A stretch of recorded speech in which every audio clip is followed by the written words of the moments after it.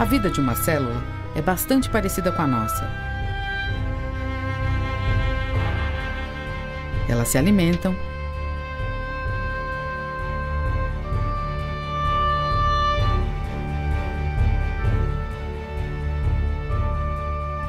crescem,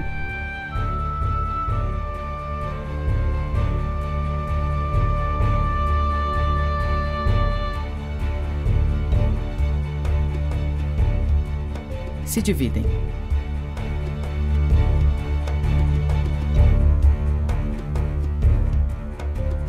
Nós não nos dividimos, mas nossas células sim.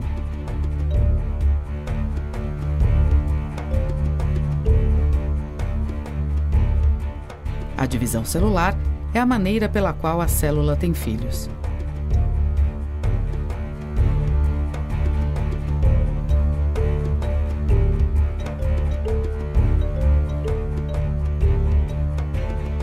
Vida de uma célula é chamada de ciclo celular e está dividida em duas fases: intérfase e mitose. O objetivo do ciclo celular é produzir duas células filhas que sejam cópias fiéis da célula que lhes deu origem. Mas para isso, a célula precisa passar por várias etapas até que esteja apta a se dividir. A intérfase é a primeira parte desse ciclo, onde as células crescem e duplicam seu DNA. A intérfase é também a fase mais longa, subdividida em três partes.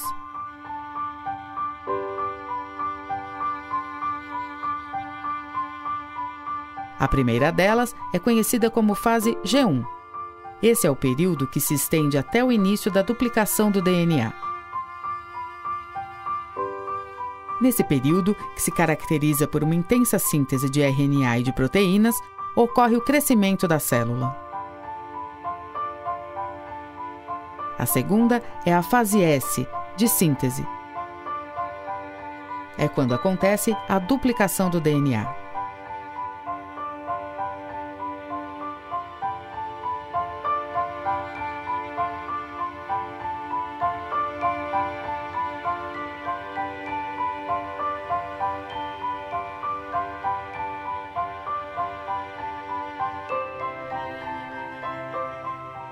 A última fase é a fase G2, que é o período entre o fim da duplicação do DNA e o início da mitose. É a hora em que as células conferem o DNA duplicado para verificar se houve algum problema, como danos no material genético. Aqui vemos o núcleo durante a intérfase, em azul, bem como as proteínas que mantêm a forma da célula, em verde. A outra fase do ciclo celular é chamada de mitose, também conhecida como divisão celular.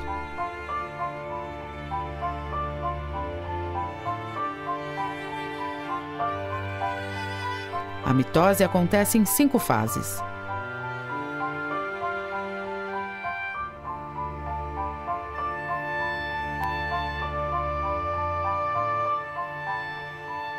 A primeira fase é chamada de prófase, é nela que a cromatina, DNA, se condensa em filamentos chamados de cromossomos.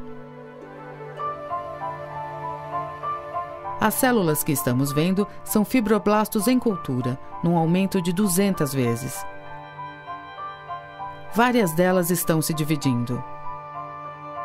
Os fibroblastos são células alongadas e estreladas e são importantes porque fazem parte do tecido conjuntivo, produzindo uma série de proteínas necessárias para a manutenção desse tecido.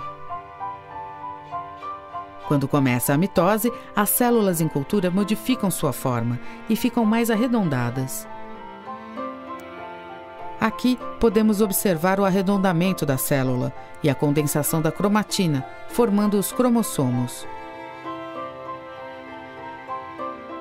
Também podemos observar o início da mitose em células endoteliais. Elas fazem parte da parede dos vasos sanguíneos, produzindo proteínas que determinam como as células do sangue vão interagir com as outras células do organismo. podemos ver a célula em divisão se tornando menos aderida à superfície e mais arredondada, nesta imagem aumentada 400 vezes. A segunda fase da mitose é a prometáfase, onde se desmonta o envoltório do núcleo, liberando os cromossomos que irão se associar ao fuso mitótico. O fuso é uma estrutura proteica formada no citoplasma para ajudar na movimentação dos cromossomos para as futuras células filhas. Na metáfase, que é a terceira fase, os cromossomos se movem para uma posição no meio da célula, orientados pelo fuso mitótico, formando um agrupamento chamado de placa metafásica. Em azul, dá para ver os cromossomos na placa metafásica e em verde, o fuso mitótico.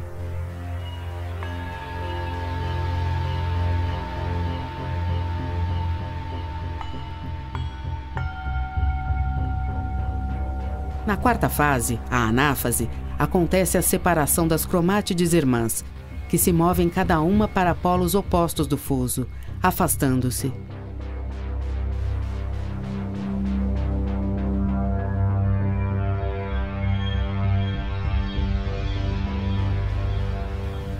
A última fase da mitose é a telófase, na qual acontece a reconstituição do envoltório nuclear.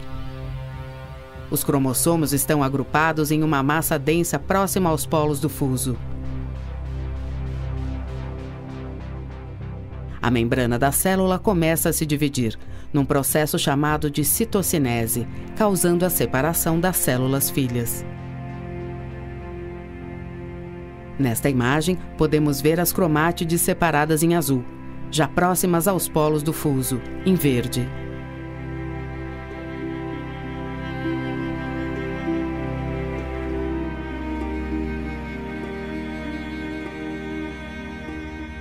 Depois da divisão, cada célula filha entra na fase G1 da intérfase,